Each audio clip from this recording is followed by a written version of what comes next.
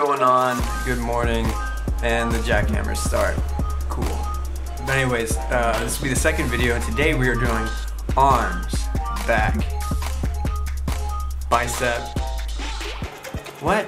Today we're going to be doing a workout that has to incorporate your bicep, tricep, back, and shoulder. So all arm workout. These little arms need to grow. Oh my god, it's so bad. I can't believe. Let's get into it. It's early in the morning. I'm tired, but I want to keep this out of the way. It's always best to get it out of the way in the morning or, you know, as soon as possible so you don't have that, I'm gonna do it, I'm gonna do it, I'm gonna do it, and you never get to it. So let's get to it.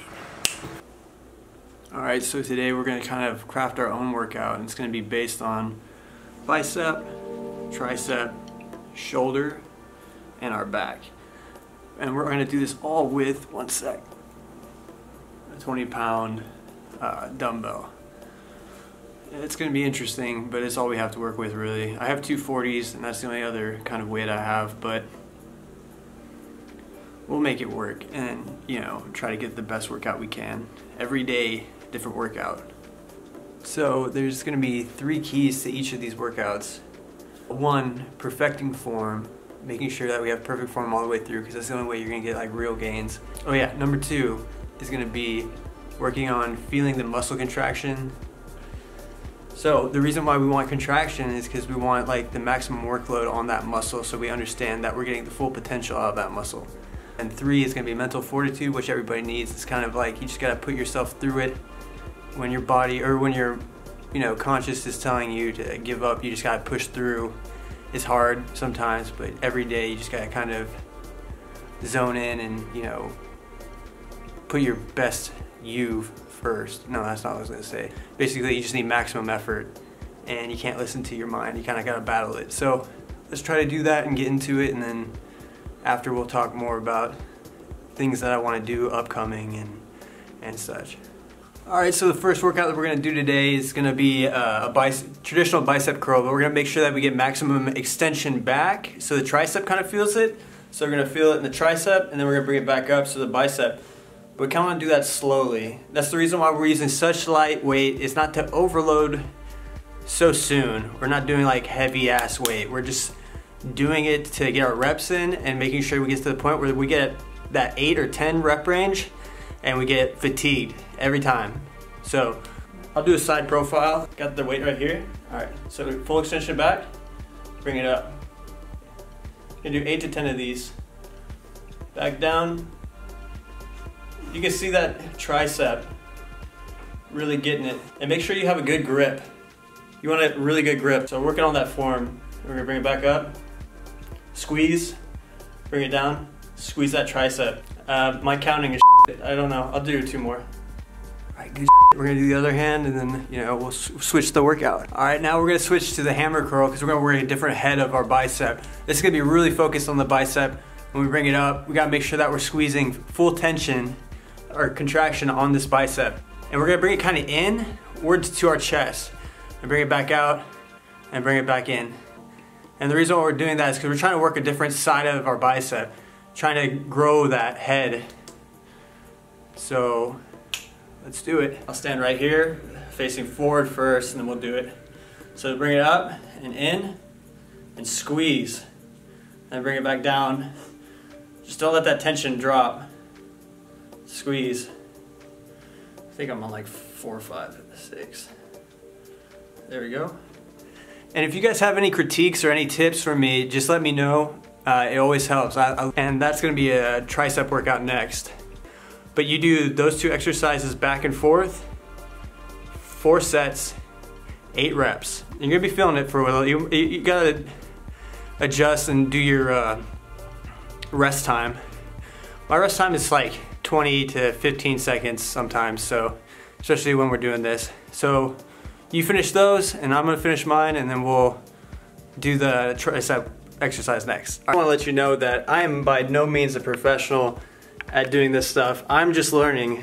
So if you guys have any tips or any like tips, tricks, or anything about working out, I'm doing as much book research as I possibly can. Uh, I try to study other weightlifters, bodybuilders around, like try to dive deep into the science of things. So I'm just basing my workout on the knowledge that I know, but feel free, please feel free to share anything you guys know about certain workouts, muscle groups. I'm just trying to learn the best I can and implement it. I mean, the first thing I had to do is like look at anatomy.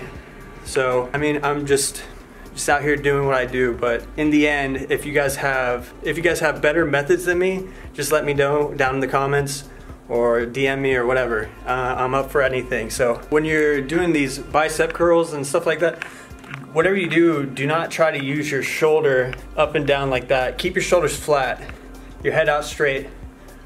We're looking at posture. You don't want to be exercising unnecessary muscles, you know? We want to direct the focus and target the bicep. I mean, the tricep is a secondary muscle that works out on that on both of these. Kind of want the full extension back not too far. You don't want to be like breaking your arm or whatever, but you just want to go back, feel the tension in your tricep, and bring it back up in the bicep. Don't use your shoulders, because I've been doing that for a long time. It's it's a horrible path to go down. You get just really tight shoulders, and you're not you're not getting the muscle that you want. So, just a little tip there. All right, so now we're at the shoulder portion. These things are my worst enemy. I use them to compensate for biceps. I use them to uh, I use them to compensate when I do bench press, like I lift up, and it's all kinds of bad, you know? So always had this issue. Sorry I don't have a tripod, that's why I'm kind of like bending down talking to you guys. I'm six foot and it's kind of impossible to do this. Um, so what I'm gonna do is try to work best on keeping my shoulders down when we're doing the shoulder exercise and we bring it up. Don't try to be all crazy. You're not Superman. Just go up, feel that tension on this part right here. You can feel it when you go up. You can feel it right here too. I don't know if that helps, but it's helping me because I get to see it and then see how I'm doing. All right, so we'll start that. This is gonna be a front raise. So we'll go. Keep your chest out, head forward And don't compensate with your shoulders. I'm kind of lifting it. So I'll put my hand here to keep it down. Ooh, 20 pounds might be too much. I'm gonna have some DOMS, like, and that's a delayed onset muscle soreness. So you gotta watch out for that. Um, but I'm gonna keep going, keep trying. So we're at like two, right? Bring it down slowly.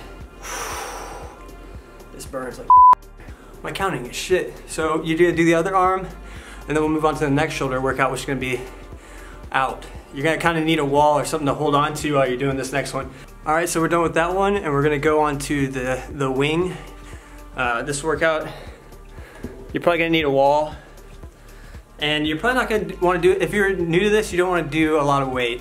You just wanna get the form down because one of the things that people miss out on is mental fortitude. You have to always be in tune with your body and know what your body's doing or you're not gonna be getting the results that you want.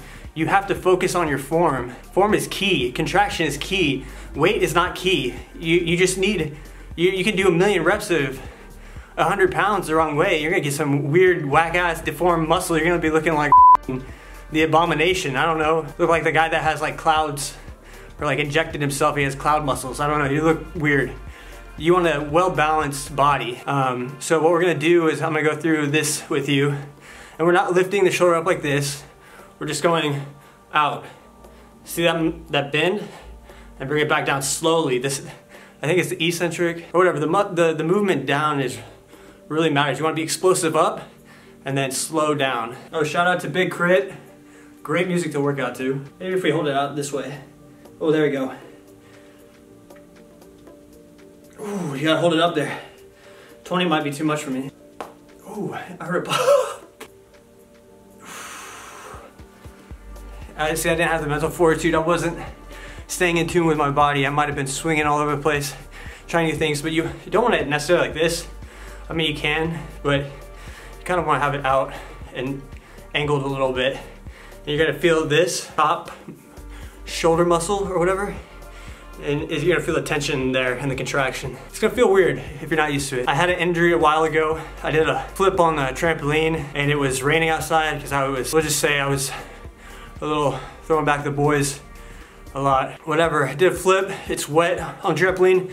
I uh, folded myself, scorpioned, and uh, it separated a certain muscle. My, my thumb went numb, all kinds of things. But this shoulder didn't really work too well. And working out's fixed it. It's like uh, physical therapy for me. So I've always had issues with sh my shoulders and lifting weight, but uh, you can get better if you do physical therapy and just start off slow and light. It can make wonders for you in the future. So I'm gonna knock out these shoulders, exercise as best I can. I'm probably gonna be gassed after that, but we still have back and we still have uh, tricep after that. We'll probably go to tricep next, but ooh, I'm sweating, dude. Um, that was rough. So now we're gonna go on to uh, the next phase, and that next phase is, uh, uh, the next phase is gonna be triceps. So we're gonna do over the back. Oh my God, I can't even do. All right, so we're gonna do over the back, lift up, and flex that tricep. And after that, we're gonna do kick, like basically kickbacks. We're, we're gonna have a chair right here and we're gonna throw it back and stretch and squeeze. Right there. And this uh, playlist I made is just going ham right now. All right, so over the head tricep extensions. Don't hit your baseball cap. Uh, two. See that? Oh man. Was that eight? I hope that was eight. All right, and we'll go to the kickbacks. All right, now we're gonna go do the kickbacks. All right, so we're gonna go right here. Good back posture, flat back, ass out a little bit. We're gonna bring it right here, and back, and squeeze. You're really gonna feel it, dude, especially if you're doing 20 pounds. So we're gonna take it, flat back, head out, and you're gonna be looking forward. All right, now down. All right, go.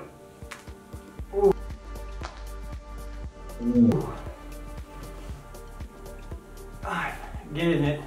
I don't know if the form was good on that, but we're trying. So where the mental fortitude comes in handy. It's hard to keep track of everything. The weight you're using, your rest time, your count, all that dude. And then being in tune with your body and knowing what you're actually working out, you have to be on point. Every day might not be perfect, but you can uh, keep pushing for perfection. Uh, there's a Lombardi quote, I'll put it somewhere in here, but it's the best quote I've ever heard. The reason why I was on my knees for the over the back tricep extension is because I want to stabilize my core. Standing up, you can lean different ways and you can, you can hurt yourself like that. So I'm just trying to stabilize my core, work on my core. And any workout you do, whether it be anything that you're standing up on or kneeling down or, you know, picking up, activate your core because you're gonna get hurt if you don't. You need your core abdominal muscles to be strong. Otherwise, you're gonna really, you could be in some bad place soon. So just always keep that in mind. We're not, no, no, we're not done.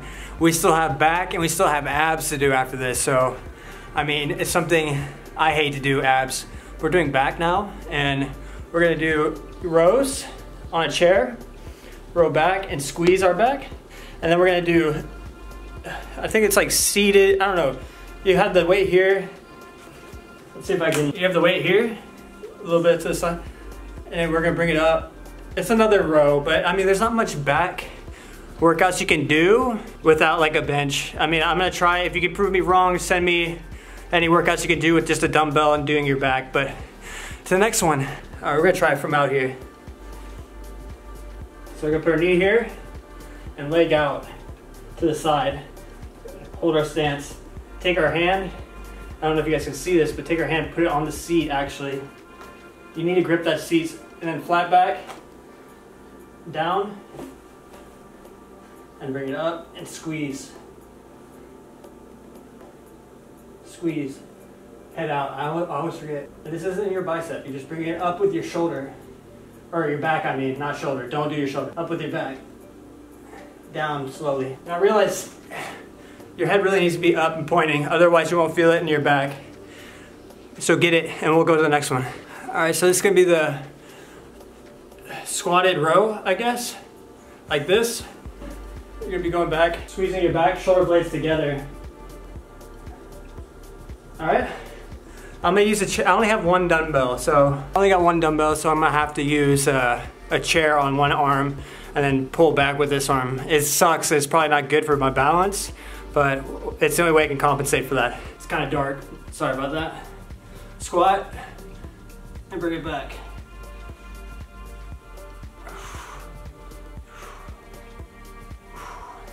I can feel it still. I was looking down. This kind of, this one kind of calls for you to kind of look down, I guess. I don't know. Like you just keep your head straight and bend over and pull it back. I think that's the best solution to that. Sorry if, if anybody has a better exercise for back, uh, just let me know with one dumbbell. All right, we finished that up. Now we're gonna do the abs. I follow the rule Muhammad Ali said best is when it starts to hurt, that's when you count. You don't have to do that, but if it starts to burn, try to start counting after that. Keep going. When it starts to burn, try to do five more when it starts to burn. And I promise you, you're gonna see results. You don't have to do like three times a week. I try to do it after every exercise now. I hate abs. Really do. Let's knock those out. I gotta walk the dogs, get food started, and finish up here and have a good day. So I'm gonna finish up the abs and we'll talk later about other things that are happening with this channel. We did it. Ooh, ooh, ooh. Well, if you finished it, good job, bro. You. But I'm gonna go walk the dogs and get food started. We killed that workout. And it's crazy to think about, you know, three years ago when I spent two hours in the gym and now I'm doing like, you know, here in the house, doing like one hour and I'm dead. Well, not really. I actually feel pretty good. I know that I'm gonna be sore tomorrow, so I got that to look forward to. But it's every day that we're grinding. We're trying to really get some gains, really get some results. I mean, that was the main point is just to the reason why I'm doing so low of weight, um, I'm just working on perfecting my form, working on my contractions, making sure I'm targeting the muscle group that I need to or intended to be in the workout, and then mental fortitude, which I, I always have an issue with. But I hope you enjoyed this video. Uh, it's gonna be the second video. Um, there's gonna be a lot more. I just gotta figure out a better way to edit everything, put it together. I think I can streamline it once I have like a format ready and we can, you know, do it that way. But, you know, that's it for today. I just want to thank anybody that, you know, hits the like button or subscribes to this channel. I really appreciate you. Um, and there's going to be a lot more to look forward to, like reviews over different equipment, um, different gym reviews that I go to once everything opens up. Uh, I'm going to be trying to work on a couple of things that have to deal specifically with the fitness industry, taking art and sports and athleticism and athleticism, athleticism, and then kind of combining them together. And we have a really cool project coming out pretty soon. Well, not soon, in the far, far future from now. But I hope you guys stick with me and you know, you see the results at the end of this because I'm, I'm really working hard. You know, and it's weird. I, I picked up this new mentality today. I woke up after that first video. I was like, I felt like I couldn't let you guys down by not doing a second video and just kind of like letting this die off. And page two, I really need to stick with this and try to do my best. I'll grow, get more comfortable with the camera and stuff like that. And, you know, energy level and all that stuff. It'll be fun. But for now, that's it. I'll see you guys on the next one. Peace.